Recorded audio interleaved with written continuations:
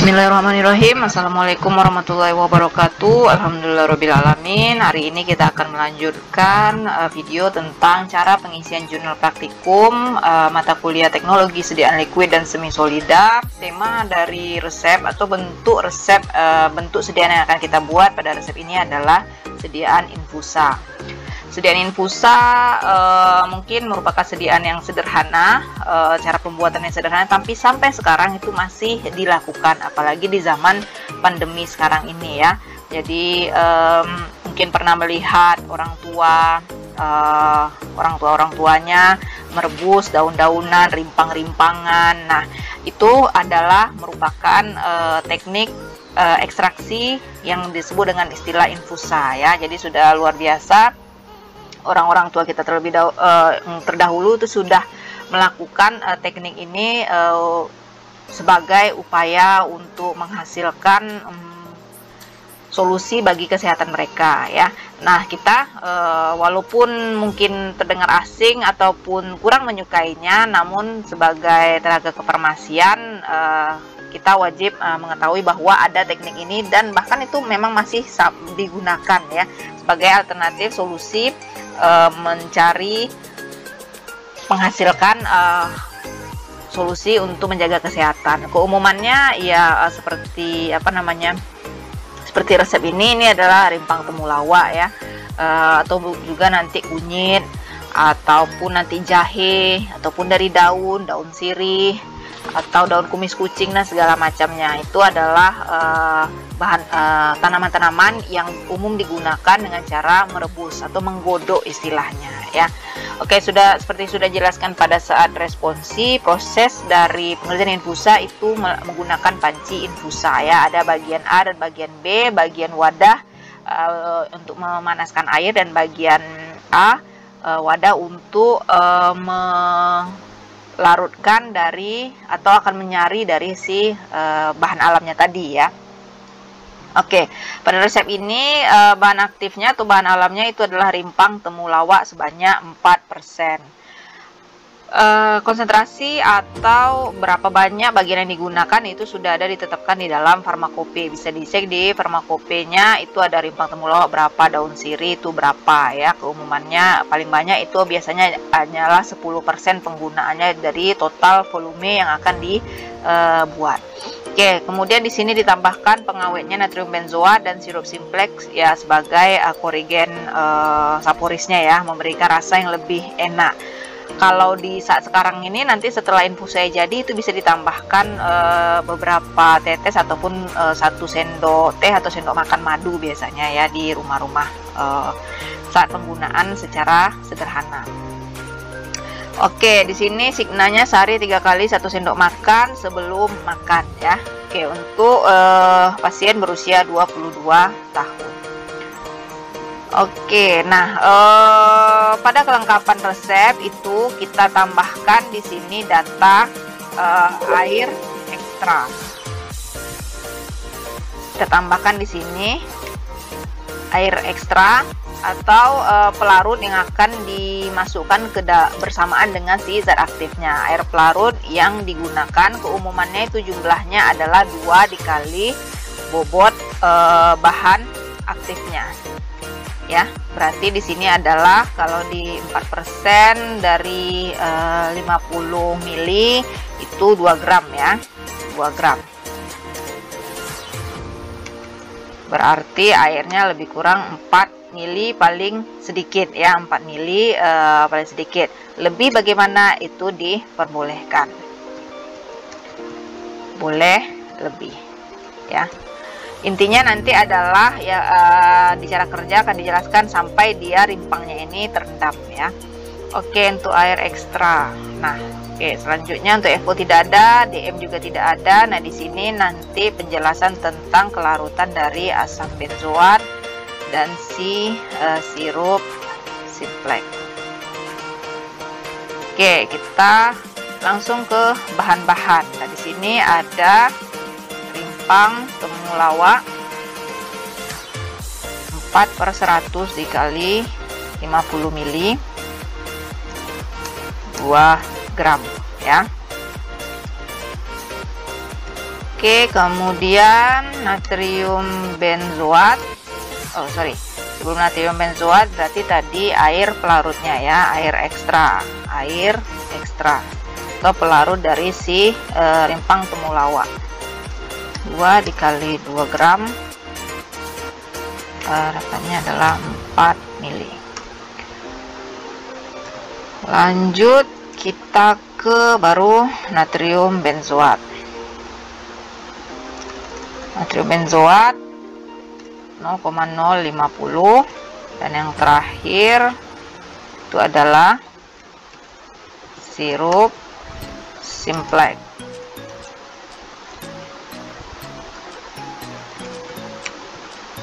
sebanyak 5 gram aquades at 50 mili Oke, itu untuk bahan-bahan. Lanjut kita ke cara kerja. Siapkan alat dan bahan yang akan digunakan. Uh, botol dulu ya. Botol di tara dan dikalibrasi 50 mili.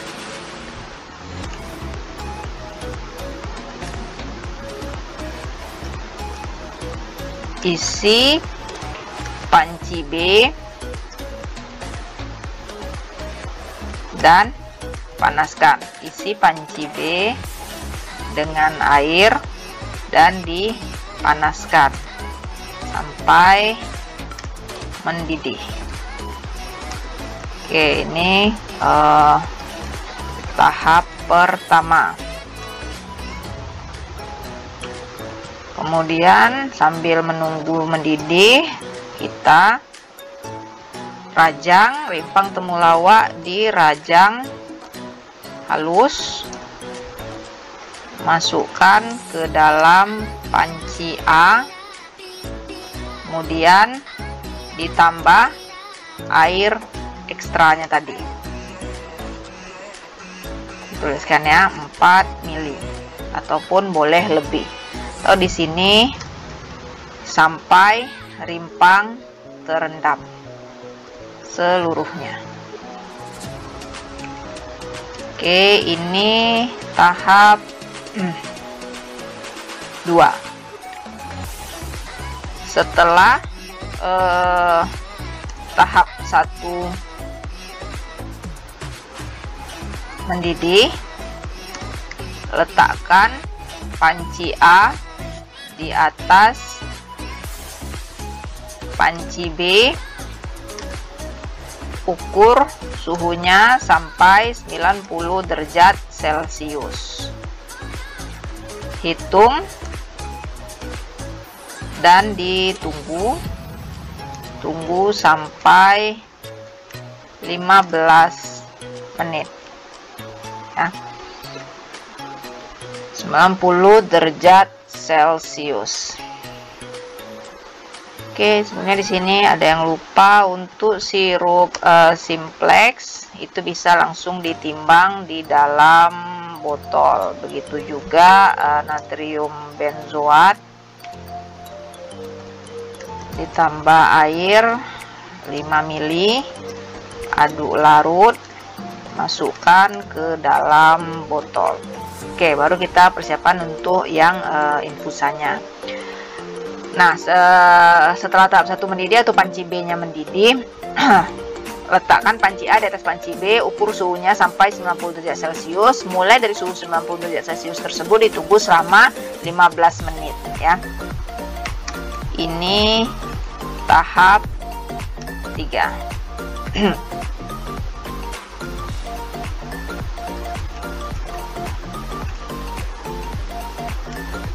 keempatnya angkat panci A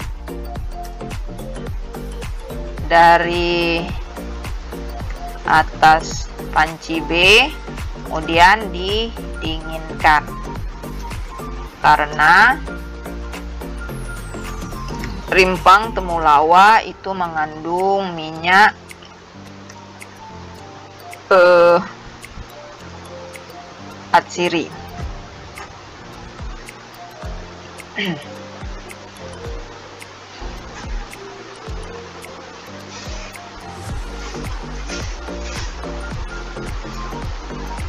Tunggu sampai 15 menit.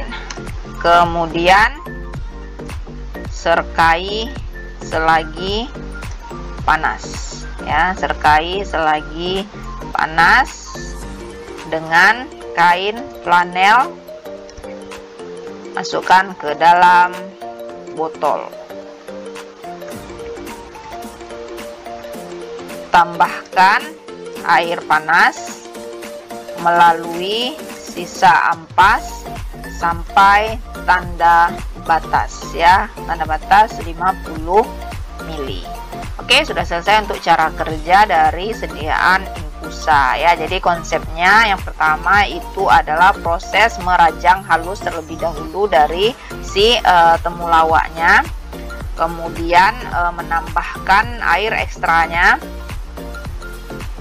untuk melarutkannya gitu ya untuk merendam ya merendamnya. Tadi belum ya.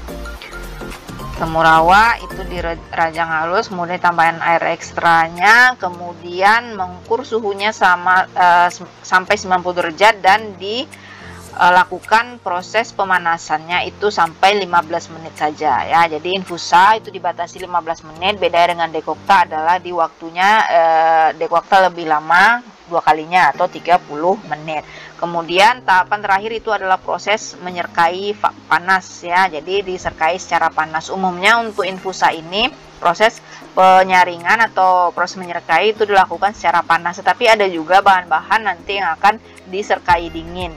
Bahan-bahan ini e, karena kenapa dia diserkai dingin? Karena dia mengandung minyak asiri. Ya nanti seperti pada resep kelas e, lain itu dia e, daun sirih ya itu mengandung minyak asiri jadi dia disertai dingin.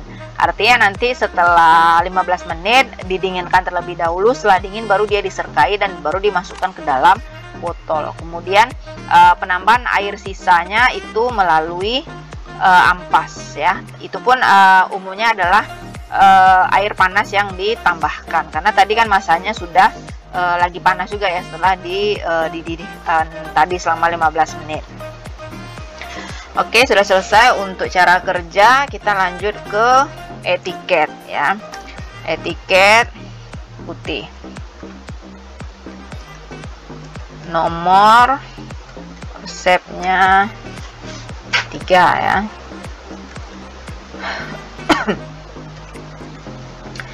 Pekanbaru 20 Mei 2021 namanya tadi adalah OD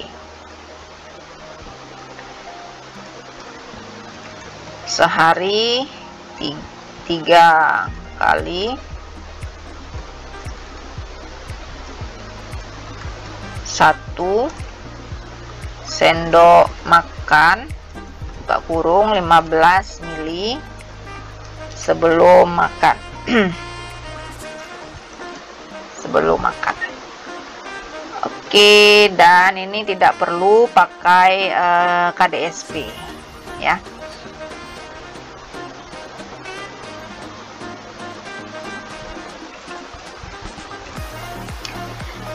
Oke, selesai untuk resep uh, infusa ya. Jadi yang ditandai ini adalah parameter atau hal, khusus yang perlu diperhatikan pada saat membuat uh, infusa yaitu adalah yang pertama derajat halus serbuk. Caranya adalah uh, derajat arus dari simplisia itu dengan cara proses perajangan atau memotong kecil-kecil dia menja menjadi bagian yang lebih kecil daripada bagian awalnya kemudian ada penambahan air ekstra umumnya itu adalah dua kali bobot dari bahannya tadi kemudian uh, proses pengukuran suhu sampai 90 derajat selama 15 menit ya Kemudian uh, yang selanjutnya adalah proses menyerkai atau menyaringnya. Uh, umumnya itu adalah dalam keadaan panas kecuali untuk zat yang mengandung minyak asiri itu diserkai dingin. Dan terakhir itu adalah penambahan air sisa untuk mencukupkan sampai batas volume yang uh, diinginkan volume sediaan yang dibuat. Yang dimasukkan atau yang dilewatkan melalui sisa ampasnya tadi. Uh, tujuannya adalah uh, supaya menambah juga ada bagian si zat aktif itu yang masih juga tertarik melalui air panas yang dicurahkan uh, melalui dari sisa ampasnya tadi ya. Oke. uh, demikian untuk uh, cara pengisian jurnal uh, ataupun pemahaman jurnal sediaan uh, resep kita infusa ya. Terima kasih. Wassalamualaikum warahmatullahi wabarakatuh